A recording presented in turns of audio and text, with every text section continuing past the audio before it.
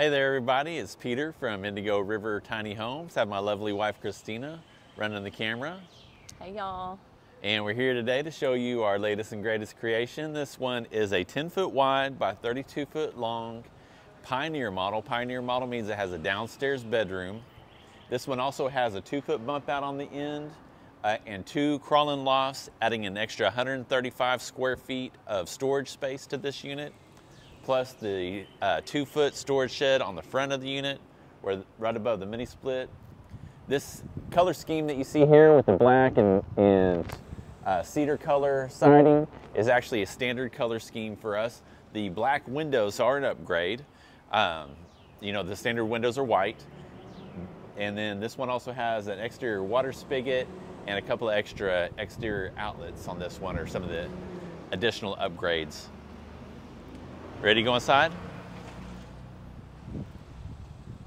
Sorry about that truck driving by. Alright. We tried to get a permit to close off the street, but Yeah. So this uh, layout is a little bit different than some of the other ones we've done, but it's Pioneer with downstairs master and then the kitchen, living, and workspace and dining space are on this side. yeah, we've got, as you see, a full kitchen with a full-size oven, big enough to cook a turkey in, and four burner cooktop. It actually has a bridge burner here, so I does that make it five burner really? I don't know. we have a vented over the range microwave that's vented to the outside. Has a custom little shelf above it because had to fit it around underneath the upstairs loft. Uh, upper cabinets, a couple of floating shelves next to the sink. We've got uh, the Fisher and Paykel drawer dishwasher, which is really deep and surprisingly big for a half dishwasher. I think it's more like a three quarter in terms of the number of dishes you can get in there. Yeah. And then uh, we have the farmhouse sink. This is a stainless steel farmhouse sink, and it does have some accessories to drop in. We don't. We have those uh, stored away right now, but it does have like the cutting board that sits on the lip of it here. We this one also has a reverse osmosis water filter, which gives you 99.9% pure drinking water. Uh, Plus the whole house water filter that's that's standard on every unit. right. the, the reverse osmosis is an upgrade. Um, then we've got the corner cabinet here with the Lazy Susan inside. So you have the, you can turn it and have uh, access to. oh, the full corner. space. Then we have the fridge up on a pedestal with the drawer underneath and the, the box, the cabinet above it. I think that's all the features in the kitchen here. In the living area, um, we've got the, the, the sitting space over here. We did an accent wall where the TV is going to be mounted.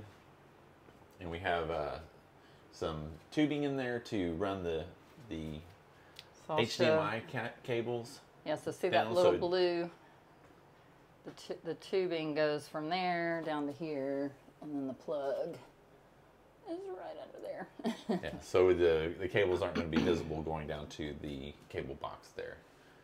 And then a little shelf above. Uh, then we did a workstation. Uh, this customer works from home. And so we did a, a pretty neat thing here with the desk. You know, it's got a full working desk with a window behind it, uh, behind its two monitors. But it also has a little nesting table. Uh, so you can pull it out and use it as a dining table. You know, whenever he wants to or, or has guests, you know, uh, so you can probably seat at least three people. How many people? I think you could eat three people there pretty easily, and it's then a little tight for four, but yeah, but and you can also slide that up underneath if you just want a little bit to stick out. yeah, we'll slide up underneath. It It. fits, yeah, fits really snug. so I'll go down here so you can see it just slides in. And that was custom built for this house. So next, so that's the workstation. I think we said everything about all that. And then uh, here's going to be the combination all-in-one washer and dryer. and then you got cabinet space above for your your um, detergent and things, plus extra storage all throughout the stairs, like we normally do. So now we'll head over to the bathroom. So you can see already we got our glass doors, and then this is a standard surround, right? Just the Yes. acrylic. Yes, he chose a standard acrylic surround. I'm trying to show the whole bathroom before I go all the way in there. So it's a standard vanity, Yes. but it's nice and spacious. There's plenty of space. And then he's got lots of shelves here. I think this one is a little bit wider. This vanity is. I think this is actually a Couple be a 30 inches. inch oh, okay. vanity. Instead of 24. 24. Yeah. All And built-in right, so obscured glass window that opens, and then of course this is the cabinet that you do not bump your head on. We promise. and then anything special about this bathtub? Uh, yeah, it has the removable shower head um, that has the dual ring, so you can actually have the. Oh uh, yeah, up top and bottom, or yeah, and it's got a really neat uh, tub spout that he selected. oh yeah. Okay. And then now to the bedroom.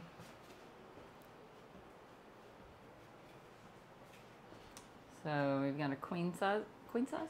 Queen size bed, room on both sides of the bed to walk around, and then two built-in nightstands. And this does pop up for storage. Do we want to look underneath? Sure. Okay. See what kind of mess is under there. Oh wow, nice and clean. Yeah. you can fit, fit quite a few storage bins underneath there. Yeah. Usually there's stuff for the homeowner in there that needs to get delivered. yeah, we, we waited this time. And then we have this whole wall of storage here. So all of these doors open for uh, hanging clothes. And then you have nice big deep drawers. We've got five big deep drawers for all the, um, you know, for whatever you need to put in there. Clothes And Clothes then out of season clothes and whatever else can go up top. Plus all these cabinets up top for additional storage for the things you don't need to get to as often. And this is over the bump out. So that's Right. This is a, this is that two foot bump out on the end. trying to show everybody exactly. So we got the high ceilings in the bedroom, the extra mini split head. Space to rock around the bed. Anything else? Uh, yes, and then the TV mount here. Try not to go too fast. So people, don't get dizzy. dizzy. yeah, so the, we'll have two TVs in this house. Mm-hmm. And then he wanted real stairs, even though it's a crawl-in loft up here. He wanted real stairs, so um, the storage staircase and the extra loft would be an upgrade in the Pioneer.